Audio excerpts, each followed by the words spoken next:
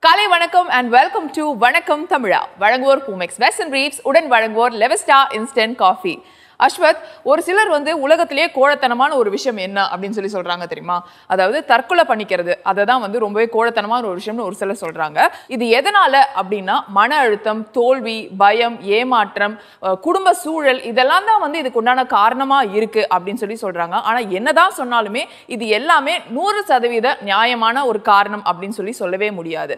So தற்கொலை பண்ணிக்கிறது அப்படின்றது வந்து ஒரு நிரந்தரமான ஒரு தீர்வே கிடையாது. கண்டிப்பா இதனால அவங்கள சார்ந்து இருக்கிறவங்களுக்கு தான் வந்து அவங்க வாழ்க்கையில பாதிப்பு அப்படின்றது அதிகமா இருக்கிற ஒரு விஷயமா இருக்கு. ஸோ இன்னொரு விஷயம் கூட சொல்லலாம். தற்கொலை பண்ணிக்கிறவங்களுக்கு தான் இருக்கிறதுலே அதிகமான ஒரு தைரியம் இருக்குன்னு கூட ஒரு சில பேர் சொல்றாங்க. அதில் இருக்கிற ஒரு பாதி தைரியம் இருந்தால் போதும் வாழ்க்கையில் நம்ம எந்த பிரச்சனையை வேணாலும் ஃபேஸ் பண்ணி அதுலேருந்து மீண்டு வந்துடலாம் கரெக்டாக சொன்ன பார்வதி. ஸோ தற்கொலையை தடுப்பதற்காக தற்கொலை எண்ணங்களை மாற்றுவதற்காக ஸ்னேகா என்ற அமைப்பை உருவாக்கி அதை நடத்தி வந்துட்டு இருக்க மனநல மருத்துவ நிபுணர் டாக்டர் லட்சுமி விஜயகுமார் அவர்கள் தான் இன்னைக்கு நம்மளோட இணைஞ்சிருக்காங்க. ஸோ டாக்டர் பத்தி சொல்லணும்னா கடந்த முப்பத்தி ஐந்து ஆண்டுகளா தற்கொலை சார்ந்த விஷயங்களுக்கு கவுன்சிலிங் தர்றதுல ஒரு முன்னணி மருத்துவ நிபுணரா டாக்டர் இருக்காங்க. உலக சுகாதார அமைப்பின் network on suicide research and ப்ரிவென்ஷனுடைய உறுப்பினராகவும் இருந்திருக்காங்க. International academy of suicide research உடைய உறுப்பினராகவும் இருந்திருக்காங்க. அண்ட் அது மட்டும் இல்லாம international association for suicide prevention அமைப்புடைய vice பிரசிடென்ட்டாகவும் இவங்க இருந்திருக்காங்க. Bharathi Gnanananda women of the year போன்ற தேசிய விருதுகளும் வாங்கியிருக்காங்க. அண்ட் சர்வதேச அளவில் உயரிய விருதான ரிங்கல் சர்வீஸ் அவார்டும் இவங்க வாங்கியிருக்காங்க. தற்கொலை தடுப்பு மட்டும் இல்லாம மக்களுக்கு ஏற்படக்கூடிய பல்வேறு மனநல சார்ந்த பிரச்சனைகளுக்கு தீர்வு வழங்கி பல்லாயிரக்கணக்கான மக்களுடைய வாழ்க்கையை வளமாக்கும் உன்னதமான சேவையை செஞ்சு வந்துட்டு இருக்காங்க ஸோ லெட்ஸ் வெல்கம் மனநல மருத்துவ நிபுணர் டாக்டர் லட்சுமி விஜயகுமார் அவர்கள்.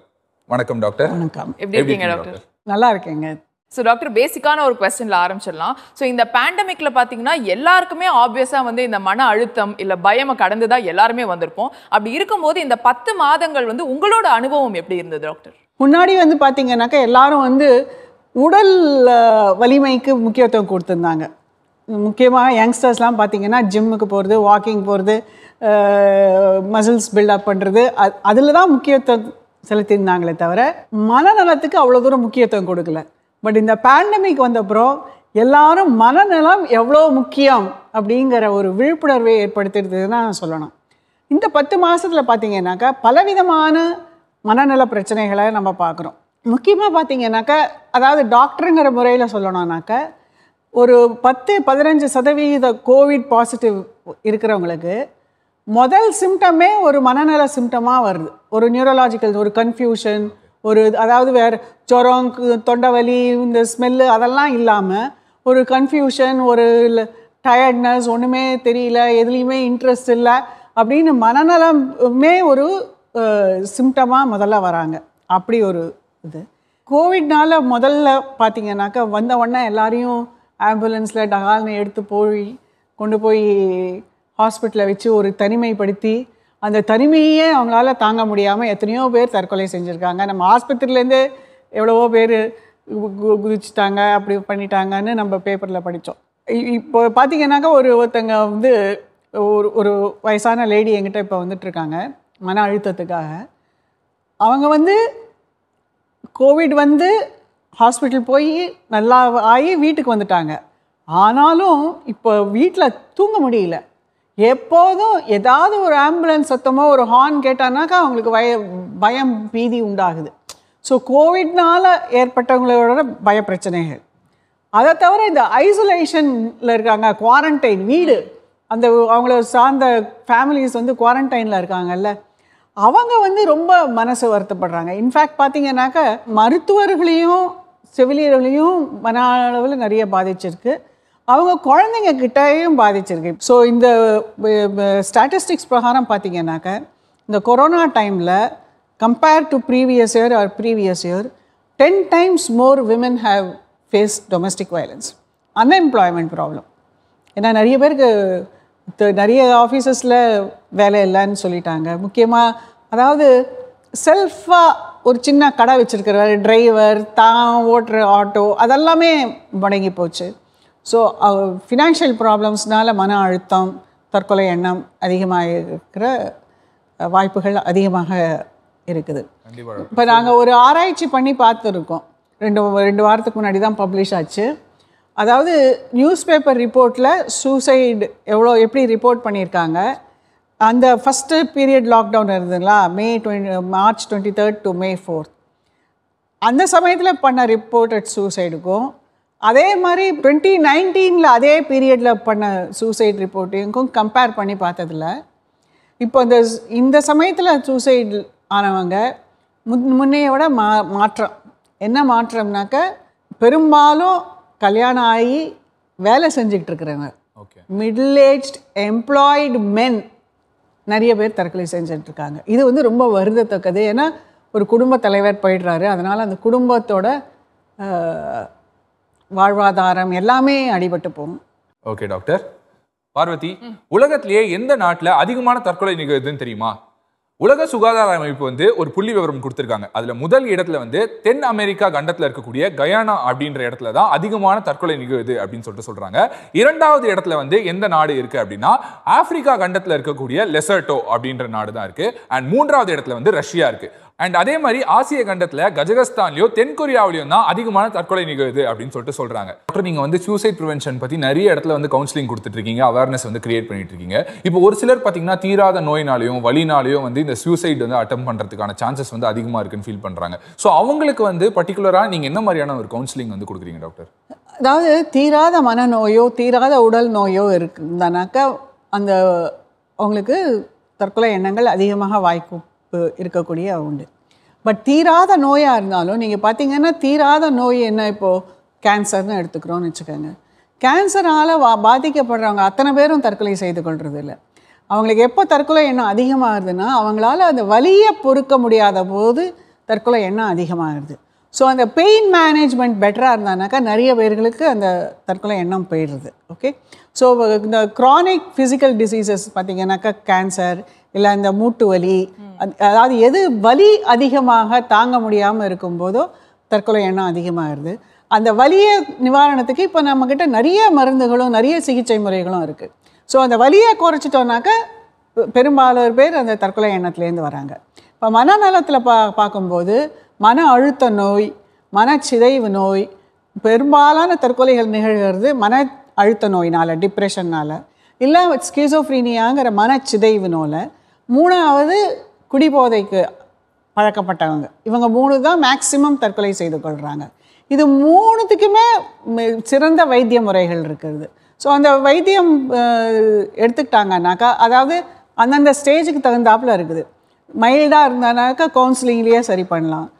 மாட்ரேட் அண்ட் சிவியர் இருந்தால் நம்ம மருந்து வகைகளில் நிறைய பல புது புது மருந்துகள் புது புது சிகிச்சைகள் இருக்குது சிகிச்சை பண்ணாக்கா அந்த மன அழுத்தமும் மனச்சிதைவும் குறைஞ்சு இந்த குடிபோதையிலேருந்து வெளியில் வந்தாங்கன்னா நிறைய பேர் த தற்கொலையிலேருந்து நம்ம மீட்கலாம். ஸோ இது எல்லாத்துக்கும் அதாவது தற்கொலை செய்து கொள்றதுக்கு எப்போதுமே ஒரு காரணம் கிடையாது. பலவிதமான காரணங்கள் சேர்ந்து ஒருத்தரை அழுத்தும் போது தான் தற்கொலை நிகழ்கிறது. ஓகே ஆனால் தற்கொலை செய்து கொள்கிறவங்க எல்லாரையும் கேட்டு பார்த்தீங்கன்னா அவங்க வந்து முடிவாக நாங்கள் தற்கொலையில் தான் சாகணும்னு சொல்ல மாட்டாங்க. சாகலாமா வேண்டாமா சாகலாமா வேண்டாமாங்கிற தத்தளிப்பில் தான் இருப்பாங்க. அந்த தத்தளிக்கிற நேரத்தில் நமக்கு ஒரு ஆதரவு கொடுத்தோன்னா பெரும்பாலும் தற்கொலையிலேருந்து வெளியில் வந்துடுவாங்க அண்ட் டாக்டர் இன்னொரு விஷயம் நாங்கள் கேள்விப்பட்டோம். கெமிக்கல் இம்பேலன்ஸ் இன் பிரெயின் அப்படின்னு சொல்லி ஒரு விஷயம். இதில் என்னன்னா ரியல் லைஃப் என்ன நிஜ வாழ்க்கை என்ன இல்லைன்னா கனவு வாழ்க்கை என்ன அப்படின்றத உங்களுக்கு தெரிய மாட்டேது. கனவுல ஏதாவது ஒரு விஷயம் வந்து அதை வந்து நிஜ வாழ்க்கையிலே வந்து அவங்க பயப்படுறாங்க. ஸோ இது எதனால ஏற்படுது? இதை பற்றி கொஞ்சம் தெளிவாக எக்ஸ்பிளைன் இதை வந்து நாங்கள் மனச்சிதைவு நோயும்போம் அது இது வந்து கெமிக்கல் இம்பேலன்ஸ் மாத்திரம் இல்லை. இதில் ஜெனட்டிக் ஃபேக்டர்ஸும் இருக்குது பயோகெமிக்கல் ஃபேக்டர்ஸும் இருக்குது என்வாயர்மெண்டல் ஃபேக்டர்ஸ் எல்லாமே சேர்ந்து இருக்குது. இதனால் க அதாவது வந்து அவங்க வந்து இன்சைட் இல்லைன்னு சொல்லுவோம். உதாரணத்துக்கு இப்போ நம்ம வெளியில் போனோம்னாக்கா யாரோ ரெண்டு பேர் பேசியிருந்தாங்கனாக்கா அவங்க நினச்சிப்பாங்க நம்மளை பற்றி தான் பேசுகிறாங்க நம்மளை பற்றி ஏதோ தப்பாக பேசுகிறாங்க அப்படின்னு நினச்சிப்பாங்க. நீங்கள் தும்மினீங்கன்னா அது ஏதோ சிக்னல்வாங்க டிவியில் ஏதாவது அவங்க மஞ்சள் மஞ்ச சாரி உடுத்திட்டு இருந்தாங்க. டிவியில் யாராவது ஒருத்தவங்க மஞ்ச சாரி உடுத்திட்டு வந்தாங்க. எனக்கு தான் அவங்க ஏதோ மெசேஜ் அனுப்புகிறாங்கம்பாங்க இல்லைனாக்கா நிறைய பேர் பயந்துக்கிட்டு வீட்டில் வந்து ஃபோனெல்லாம் போட்டு உடச்சிடுவாங்க. ஃபோன் வழியாக என்ன ட்ராக் பண்ணுறாங்க கேமரா வச்சுருக்காங்க அந்த மாதிரிலாம் ஃபீல் பண்ணுவாங்க. இது வந்து மனச்சிதைவு நோய். இதை வந்து நமக்கு ஒழுங்காக மருந்து சாப்பிட்டு வைத்தியம் பண்ணாக்க இது சரியாக போயிடும் டாக்டர் இந்த மனச்சிதைவு இந்த ப்ராப்ளம் வந்து ஒருத்தர் இருக்கு அப்படின்றத நம்ம ஏதாவது சிம்டம்ஸ் மூலியமா தெரிஞ்சுக்க முடியுமா? அப்படி தெரிஞ்சுக்கிட்டோம் அப்படின்னா என்ன மாதிரியான ட்ரீட்மெண்ட் கொடுத்து அவங்கள வந்து கம்ப்ளீட்டாக கியூர் பண்ண முடியும்? மனப்பிரச்சனைகள்னால ஏற்படக்கூடிய முதல் சிம்டம் தூக்கமின்மை. தூங்காமல் இருப்பாங்க. மனச்சிதைவாக இருந்தாலும் சரி மன அழுத்தமாக இருந்தாலும் சரி தூக்கம் போயிடும் தூக்கம் போயிடும். அன்றாட வாழ்க்கைகளை செய்ய முடியாது. இதையே நினச்சிக்கிட்டு இருப்பாங்க. இதையே செஞ்சுக்கிட்டு இருப்பாங்க. அவங்க பேசுறதுல வந்து ஒரு நம்ப முடியாததாக சிலதெல்லாம் இருக்கும். ஓகே? ரெண்டாவது அவங்க வந்து அதை முழுசாக நம்பி அதை மாதிரி செயல்படுவாங்க. ஸோ இதெல்லாம் வச்சு நம்ம கண்டுபிடிச்சிடலாம். இவங்க பேசுறதே சரியில்லையே அப்படின்பாங்க மனச்சிதைவில். கண்டுபிடிக்கிறது கஷ்டம் என்னன்னா மன அழுத்தம். மன அழுத்தங்கிறது டிப்ரெஷன் ஓகே டிப்ரெஷனுங்கிறது ஹியூமன் எமோஷன் எல்லாருமே டிப்ரெஸ் இப்போ நம்மளை நீங்கள் திட்டிங்கன்னா நானும் டிப்ரெஸ் ஆகலாம். நான் திட்டினேன்னா நீங்களும் டிப்ரெஸ் ஆகலாம். பட் ஆனால் அதை எப்போ வியாதியாக மாறுதுன்னு தான் நம்ம புரிஞ்சுக்கணும். எப்போ அது மா வியாதியாக மாறுது மனச்சிதைவு நோய் மன அழுத்த நோய் டிப்ரெசிவ் டிசார்டராக எப்போ ஆகுதுனாக்க நம்மளால் அந்த மன அழுத்தம் வந்து நம்மளால் வேறு எதுலேயுமே சந்தோஷப்பட முடியாமல் எதுலேயுமே ஒரு இன்ட்ரெஸ்ட் இல்லாமல் எதுவுமே செய்ய முடியாமல் அனாவசியமாக குற்ற உணர்வு. நான் வந்து அஞ்சாம் கிளாஸில் என் ஃப்ரெண்டோட ரப்பரை எடுத்துக்கிட்டேன். நான் எவ்வளோ மோசமானவன்னு நான் இப்போ நினச்சிக்கிட்டு அதை வருத்தப்பட்டுக்கிட்டு இருக்கிறது. புரியுதுங்களா? ஸோ அந்த மாதிரி ஒரு கில்ட்டு இது வந்து நம்ம அன்றாட வாழ்க்கையை பாதிக்கும் பொழுது. ஏன்னா அதனால் என்னால் எழுந்து வேலையே செய்ய முடியல வேலைக்கே போக முடியல சமைக்கவே முடியல. அதாவது ஒரு ஹவுஸ் ஒய்ஃப் வந்து இது பத்து பேருக்கு சமைக்கிற ஹவுஸ் ஒய்ஃப் காலையில் எழுந்துச்சு ஐயோ எழுந்துக்கணுமே நான் எப்படி காஃபி போடுவேன்? என்னால் சரியான பால் இருக்குமா? பால் பொங்கிடுமா? அப்படின்லாம் யோசனை பண்ணும்போது அது மன அழுத்தம்னு சொல்லுவோம். மனச்சிதைவுங்கிறது வந்து நீங்கள் சொன்ன மாதிரி dissociation between reality and fantasy இப்போ லாஸ்ட் இயர் வந்து மேஜராக வந்து நிறைய பேர் பேசின ஒரு விஷயம் என்னன்னா mental health is more important and as important as physical health தான் வந்து எல்லாருமே சொல்லிட்டு இருந்தாங்க. இதில் டிப்ரெஷன் ஒரு விஷயம் வந்து பற்றி நீங்கள் சொல்லியிருந்தீங்க. இந்த டிப்ரெஸ்டாக இருக்காங்க அப்படின்னா வந்து அவங்க டிப்ரெஷனில் இருக்காங்கன்றதே வந்து நிறைய பேருக்கு தெரிய மாட்டேங்குது. சந்தோஷமாக இருக்கிற மாதிரி தான் இருக்காங்க. ஆனால் சடனாக டிப்ரெஷன்னால வந்து அவங்க சூசைட் அட்டம் பண்ணுறாங்க அப்படின்ற ஒரு விஷயம் வந்து கேள்விப்படுறோம். இது எதனால டாக்டர் இந்த டிப்ரெஷன் ஒருத்தர் டிப்ரெஸ்டாக இருக்காங்கன்றதை எப்படி தெரிஞ்சுக்கலாம்? டிப்ரெஸ்டாக இருக்காங்கங்கிறது தெரியறது வந்து அதாவது மனச்சிதை வந்ததுன்னு வச்சுக்கோங்க. அவங்க தப்பு தப்பாக அதாவது பேசுறது நடக்கிறதுலேருந்து வெளியில் ஈஸியாக க கண்டுபிடிச்ச முடியும். மன அழுத்தங்கிறது நீங்கள் உங்களையே அழுத்திக்கிறது. அதனால் பெரும்பாலாருக்கு வந்து நமக்கு இது ஒரு நோய் இது ஒரு டிசார்டர் இதுக்கு ஒரு வைத்தியம் இருக்குன்னே தெரியாது. அதனால் நம்ம வந்து சோர்வாக இருப்போம். ஓ அடைஞ்சு கிடப்போம். யாரும் நமக்கு இல்லைன்னு நினைப்போம். சின்னதுக்கெல்லாம் அழுக வரும். சின்னதுக்கெல்லாம் நம்மளால் செய்ய முடியாதுன்னு தெரியும். ஸோ எப்போ எப்படி நீங்கள் இதை கண்டுபிடிக்கலான்னாக்க அவங்க பேசுகிற விதம் அதாவது மூணு விதமாக பேசுறது நடவடிக்கை அவங்களோட மென்டல் ஸ்டேட் இது மூணு வழியாகவும் பார்க்கலாம். இப்போ பா பேசுகிறதுல பார்த்தீங்கன்னாக்கா என்னடா வாழ்க்கை ஒன்றுமே இல்லை. அவங்க சக்ஸஸ்ஃபுல்லாக இருப்பாங்க. நான் ஒன்றுமே அச்சீவ் பண்ணல. மற்றவங்கெல்லாம் எவ்வளோலாம் அச்சீவ் பண்ணிட்டாங்க நான் ஒன்றுமே அச்சீவ் பண்ணல. நான் வேஸ்ட்டு நான் குடும்பத்துக்கு பாரமாக இருக்கேன் அப்படின்னு பேசிக்கிட்டு இருப்பாங்க. பிஹேவியரில் பார்த்தீங்கன்னாக்கா முன்னாடி நல்லா ட்ரெஸ் பண்ணிக்கிட்டு விளையாடிக்கிட்டு எல்லாம் இருக்கிறது அதெல்லாம் குறைஞ்சிரும். ஏதோ போட்டால் போகிறோம் ஏதோ சாப்பிட்டா சரி ஏதோ ஒன்று பண்ணால் போகிறோம் எனக்கு ஒன்றும் அவசியம் இல்லை. அப்படின்ட்டு சில பேர் எந்த அளவுக்கு போவாங்கன்னாக்கா தங்கக்கிட்ட இருக்கிற முக்கியமான பொருள்கள்லாம் மற்றவங்களுக்கெல்லாம் கொடுத்துருவாங்க. நீங்கள் வச்சுக்கோங்க எனக்கு எனக்கு ஒன்றுமே வேணாம். உங்களுக்கு ஒரு கிட்டார் ரொம்ப பிடிக்கும்னா எனக்கு போகிறோம் நான் எனக்கு நான் என்ன பெரிய கிட்டாரிஸ்டாக போகிறேன் நீ வச்சுக்கோவா அப்படின்னு சொல்லிட்டு எல்லாத்தையும் கொடுத்துருவாங்க. இந்த மாதிரி நிறைய பிஹேவியரல் சேஞ்ச் இருக்கும். ஸோ டாக்டர் தற்கொலை முடிவுலேருந்து மீண்டு வந்தவங்களுக்கு வந்து மீண்டும் வந்து தற்கொலை பண்ணிக்கணும் அப்படின்ற எண்ணம் இருக்கும் இல்லையா? அப்படி தப்பான முடிவு எடுக்காம இருக்கிறதுக்கு நீங்க என்ன மாதிரியான ஃபாலோஅப்ஸ் எல்லாம் பண்றீங்க டாக்டர் அதாவது பெரும்பாலான தற்கொலை முயற்சி செய்து அதுலேருந்து மீண்டு வந்தவங்களுக்கு திரும்ப மேக்ஸிமம் தற்கொலை வந்து அடுத்த ஒரு வருஷத்தில் தான் நடக்குது. நாங்கள் ஆராய்ச்சி பூர்வமாக என்ன கண்டுபிடிச்சிருக்கோம் அந்த அடுத்த ஒரு வருஷம் யாராவது ஒருத்தங்க காண்டாக்ட் பண்ணிக்கிட்டே இருந்தாங்கன்னு வச்சுக்கோங்க நிறைய தற்கொலைகளை தடுத்து நிறுத்தலாம். அதாவது எந்த மாதிரி நாங்கள் இந்த உலக சுகாதார மையத்தில் இந்த ஆராய்ச்சி பண்ணோம் அதாவது நம்ம ராயப்பேட்டை ஹாஸ்பிட்டல்லேருந்து அறநூற்றி ஐம்பது தற்கொலை செஞ்சவங்களை எடுத்துட்டோம். ஒரு முந்நூற்றி இருபது பேரை ஒ- பதினெட்டு மாதத்தில் ஒரு ஒம்பது தடவை ஃபோன் பண்ணி எப்படி இருக்கீங்க? நல்லா இருக்கீங்களா? உங்களுக்கு ஏதாவது வேணுமான்னு கேட்டோம். அவ்வளோதான் பண்ணோம். வேறு ஒன்றும் பண்ணல. அந்த மாதிரி கேட்டவங்க வந்து திரும்ப தற்கொலை செய்து கொள்றதோ த த- தற்கொலை முயற்சியோ பன்மடங்கு குறைஞ்சிருக்கு. ஓகே? ஸோ பெரும்பாலும் தற்கொலை செய்து கொள்றவங்க நம்மளுக்கு நம்ம வந்து முக்கியம் இல்லை. அதாவது நம்ம அவங்களுக்கு இருக்கக்கூடிய உணர்ச்சிகள் என்னன்னாக்க லோன்லினஸ் தனிமை. ரெண்டாவது ஹெல்ப்லெஸ்னஸ் நம்மளால் எதுவும் செய்ய முடியாதுங்கிற ஒரு ஃபீலிங் மூணாவது ஹோப்லெஸ்னஸ் எதுவும் மாறவும் மாறாதுங்கிற ஒரு எண்ணம். ஸோ அந்த தனிமையை போக்கினாலே பெரும்பாலான தற்கொலைகளை தடுத்து நிறுத்தலாம். நாங்கள் திரும்ப திரும்ப சொல்கிறது தற்கொலையை தடு தடுத்து நிறுத்தத்துக்கு ஒரு பெரிய மனநல மருத்துவர் தான் தேவைன்னு இல்லை ஒரு அன்பார்ந்த உள்ளம் பக்கத்தில் இருந்து நான் இருக்கிறேன் உங்கள் உணர்ச்சிகளை புரிஞ்சு கொள்றேனால நிறைய தற்கொலைகளை தடுத்து நிறுத்தலாம். டாக்டர் நீங்க ஒரு மனநல மருத்துவரா இருக்கீங்க. நீங்க அன்றாட வாழ்க்கையில வந்து நீங்க அதிகமா பார்க்கக்கூடிய மனநல பிரச்சனைகள் அப்படின்னா என்னென்ன டாக்டர்? பெரும்பாலும் நான் பார்க்கக்கூடியது மன அழுத்தம் மனச்சிதைவு. அடுத்தது ஆங்ஸைட்டி டிசார்டர்ஸ் பேனிக் ஆங்ஸைட்டி இதுதான் நாங்கள் அன்றாட வாழ்க்கையில் அதிகமாக பார்க்கக்கூடியது. அதே மாதிரி சில பேர் வந்து செஞ்சதே வந்து மறுபடியும் மறுபடியும் செஞ்சுக்கிட்டே இருப்பாங்க. இதுக்கு பேர் வந்து எண்ணெய் சுழற்சி நோய் அப்படின்னு சொல்லி சொல்றாங்க டாக்டர் ஸோ இது வந்து ஒரு மனநல பாதிப்பு தானா? இதுக்கு என்ன தீர்வு எடுக்கு டாக்டர் ஆமாம் இதை வந்து நாங்கள் obsessive கம்பல்சிவ் டிசார்டர்ம்போம் அதாவது ஒரு பத்து தடவை கை கழுவுவாங்க அஹ் ஒரு கேட்டை ஒரு இருபது தடவை சாத்துவாங்க ஒரு பத்து தடவை சுவிட்சை ஆன் பண்ணுவாங்க போடுவாங்க. இது வந்து obsessive கம்பல்சிவ் டிசார்டர்ம்போம் இதுக்கு வந்து ரெண்டு விதமாகவும் ட்ரீட் பண்ணணும். அதாவது பிஹேவியர் ட்ரீட்மெண்ட்டும் பண்ணணும் மருந்துகளும் கொடுக்கணும். ரெண்டும் கொடுக்கணும். டாக்டர் இப்போ எல்லா மருத்துவ பிரிவுலையுமே அட்வான்ஸ்மெண்ட்ஸ் வந்துட்டு இருக்கு மனநலம் சார்ந்த பிரச்சனைகளுக்கான மருத்துவத்துல என்னென்ன மாதிரியான நவீன சிகிச்சை முறைகள்லாம் வந்திருக்கு டாக்டர்? மனநல மருத்துவத்தில் என்ன மாதிரி அட்வான்ஸ்மெண்ட் வந்திருக்குனாக்கா முன்னாடி வந்து ஒன்று மருத்துவத்தை எடுத்துப்போம். மருந்துகளில் வந்து முன்னாடி வந்து சைட் எஃபெக்ட்லாம் நிறைய இருக்கும். அதனாலேயே நிறைய பேர் மருந்து எடுக்க தயங்குவாங்க. வெயிட் போடுது கை நடுங்குது அந்த மாதிரிலாம் இருக்கும். இப்போ வரு இப்போ வந்திருக்கிற நியூ ஜெனரேஷன் மருந்தில் நிறைய side effect குறைஞ்சிருக்குது.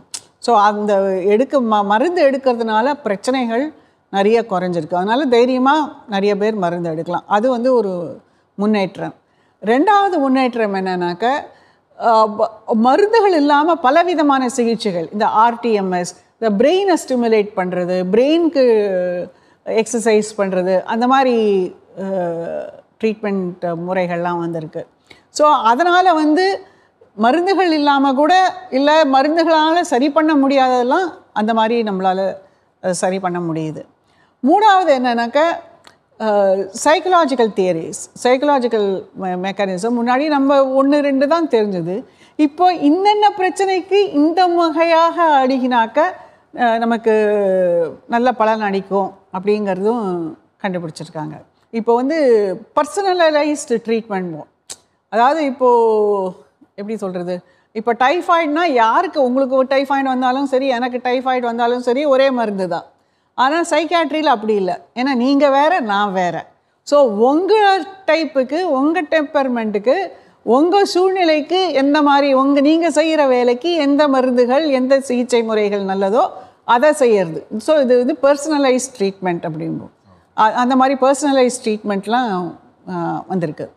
Super doctor so இன்றைக்கி எங்கள் நிகழ்ச்சிக்கு வந்து நிறைய முக்கியமான விஷயங்களை எங்களோட வந்து நீங்கள் பகிர்ந்துக்கிட்டீங்க இப்போ நேயர்களுக்கு மனநல ஆரோக்கியம் குறித்து நீங்கள் சொல்ல விரும்பும் டேக் ஹோம் மெசேஜ் என்ன டாக்டர் டேக் ஹோம் மெசேஜ்னாக்கா மூணு தாங்க ஒன்று தன்னம்பிக்கை. உங்கள் நம்பிக்கையை நீங்கள் வளர்க்கணும்.